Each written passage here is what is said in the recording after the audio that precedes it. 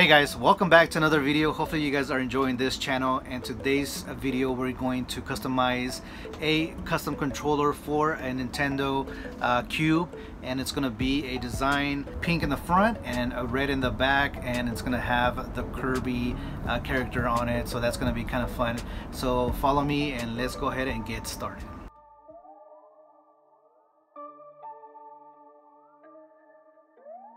Alright, and here is the original controller. It's obviously used and has been weathered a little bit.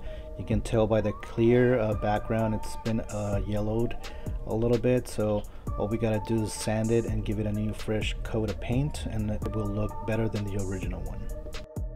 So obviously we partner up with Kustom Kontrollerz once again and this particular controller is going to uh, the creators of a WorldStar. So if you ever been on Instagram, you've known uh, or do know who WorldStar is, and you probably follow them. So this is going directly to them, and uh, we're hoping we do a good job uh, so they can come back and order some more controllers. So this controller has been disassembled already. I just have to separate each part individually and we are painting the tip of um, the uh, the cable so I want to cover the electronics as, as much as I can so I'm putting them in the bag and taping the rest.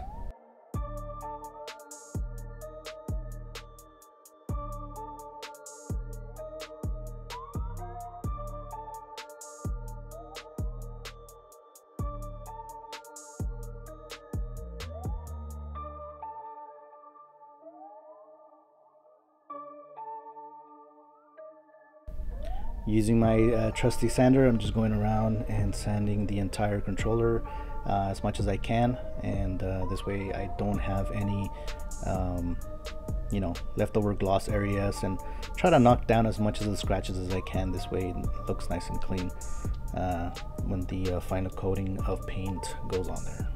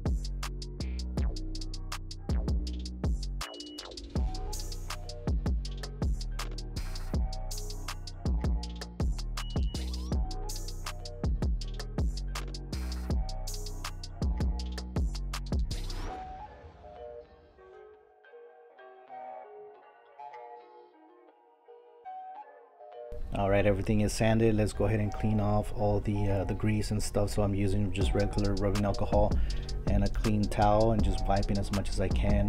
Obviously the dust will be held by the microfiber and then all the uh, grease and stuff will be removed by the alcohol. So um, obviously i'm using my hand and uh, in some areas. So i'm trying to do a kind of like a rough good clean first and then um, I'm gonna come back with gloves and give it a final wipe down.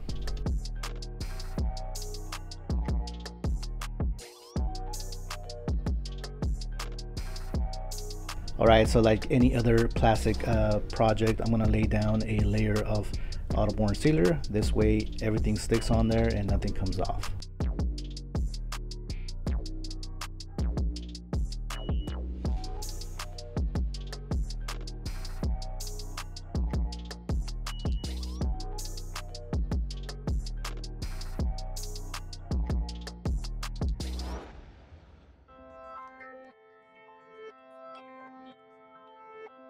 As I lay down color, I am applying a little bit of Auto-Borne sealer in that color. This way it gives it a little bit stronger bond and it'll last uh, a longer time and it'll also make it easier if I do use stencils. This way it doesn't peel off. So I'm making the acrylic stronger by applying maybe like two or three drops of Auto-Borne sealer.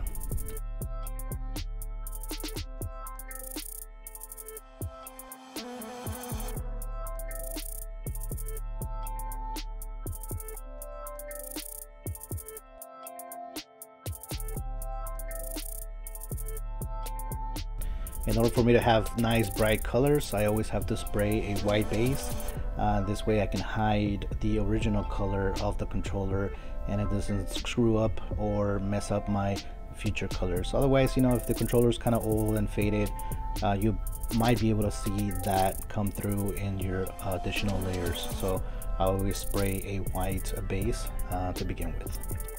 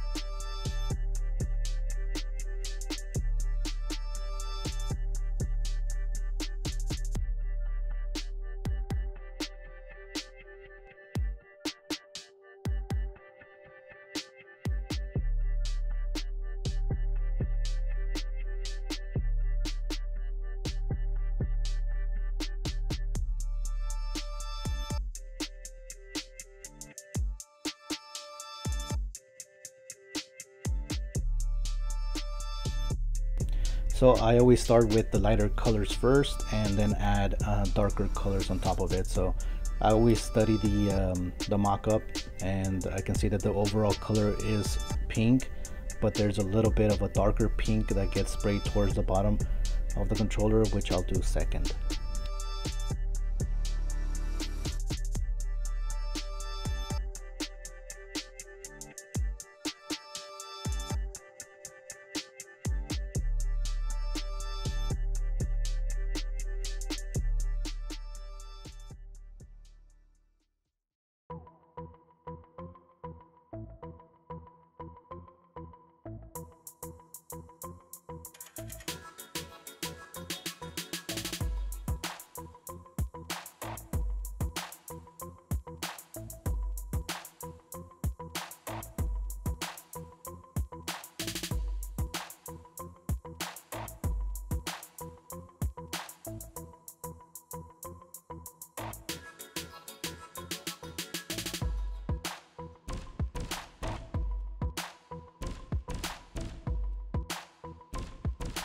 Alright, let's spray the red and I'm using the red straight out of the bottle but I'm gonna add a little bit of Auto-Borne sealer so it's nice and strong.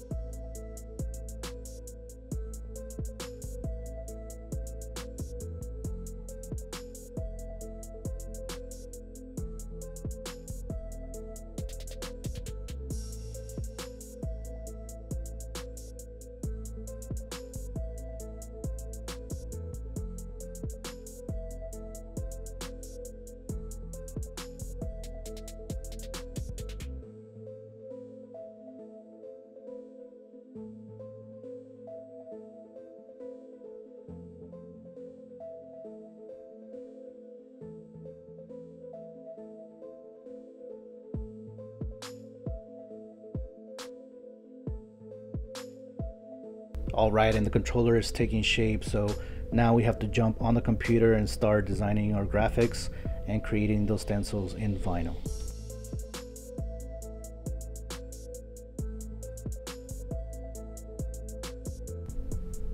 My preference in working in vector files is illustrator but there is other softwares kind of like corel or uh, i think uh, cricut uh, design space i believe uh, that you can make different uh, designs and so um, in this case what I'm doing is just recreating the character and then I'm gonna be um, creating a stencil out of this particular design.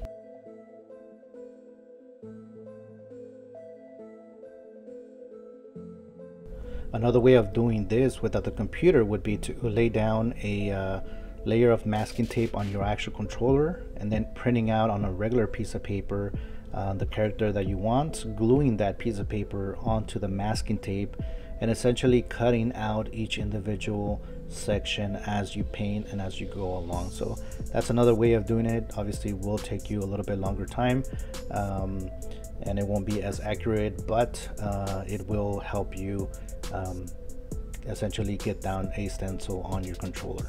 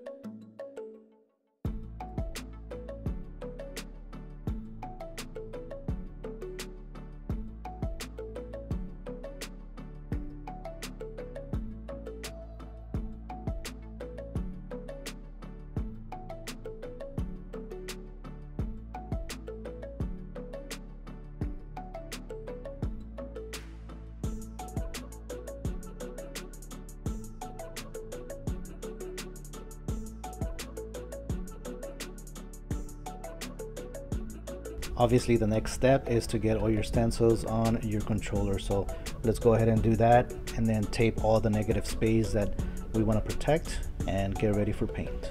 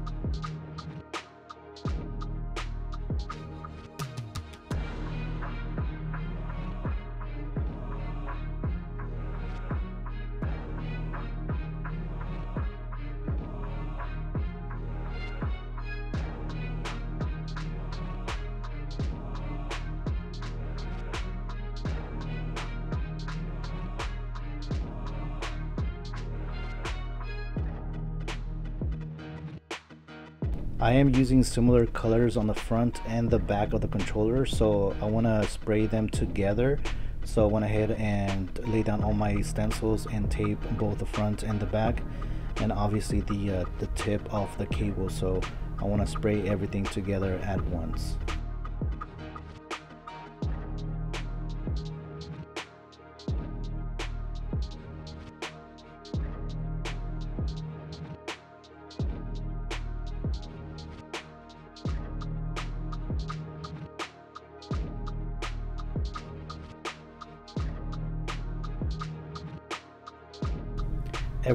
Sprayed so let's go ahead and unwrap this before it eventually cures. And uh, this way we can have a nice clean edge uh, for every single character and star that we have on there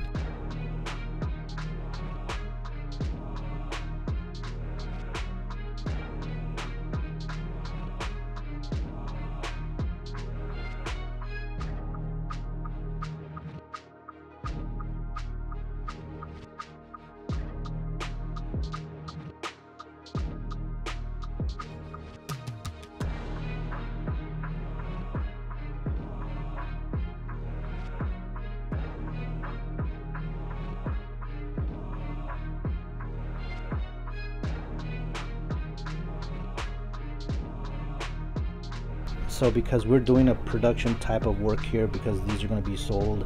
The uh, client expects good quality work so this is the reason why I use a stencil and try to get the character as perfect as possible.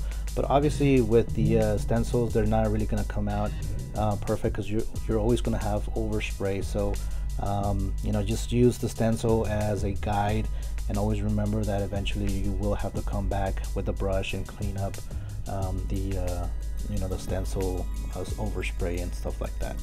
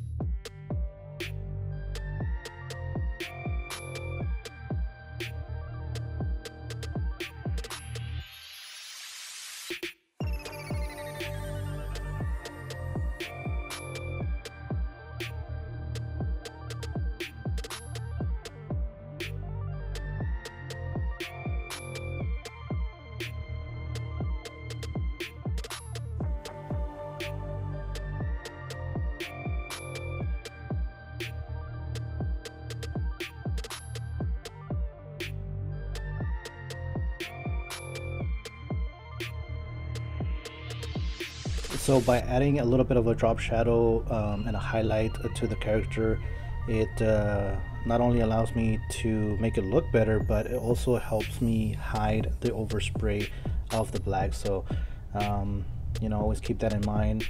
You always kind of think ahead and try to um, remember that you will have overspray and try to figure out the solution before you even have the problem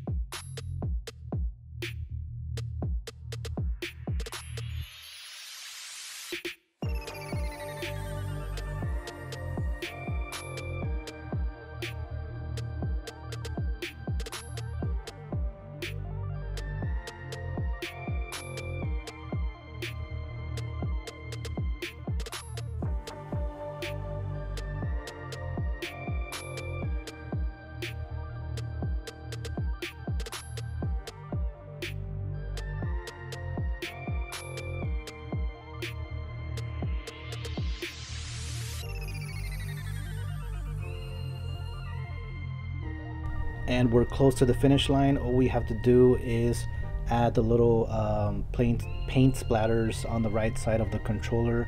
And I'm gonna um, I kind of already drew the design on a piece of paper uh, from the mock-up that I received. So I'm just translating that onto the controller itself allowing that to dry and then coming back and adding additional layers so it's nice and solid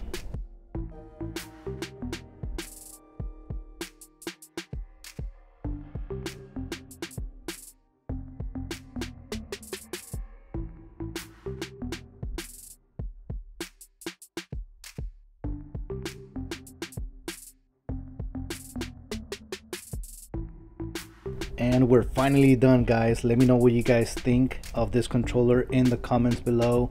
Obviously we still have to add the gloss and uh, so let's go ahead and do that and take a look at the final result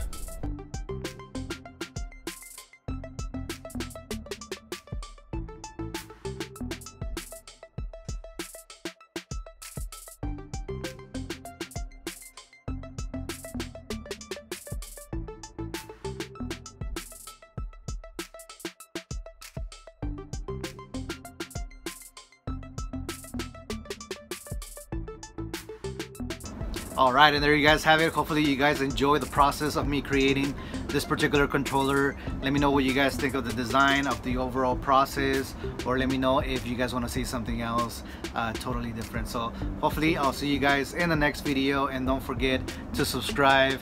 If you have anything that you want customized let me know on Instagram at Ernie Designer. And uh, of course if you want any custom controller created don't forget to hit up Kustom Kontrollerz and they provide a lot of cool designs. They can customize just about anything and um, partner with them and uh, I'm part of the, uh, the lineup of artists that uh, create some of these controllers. So I'll see you guys in the next one and take it easy for now. Bye bye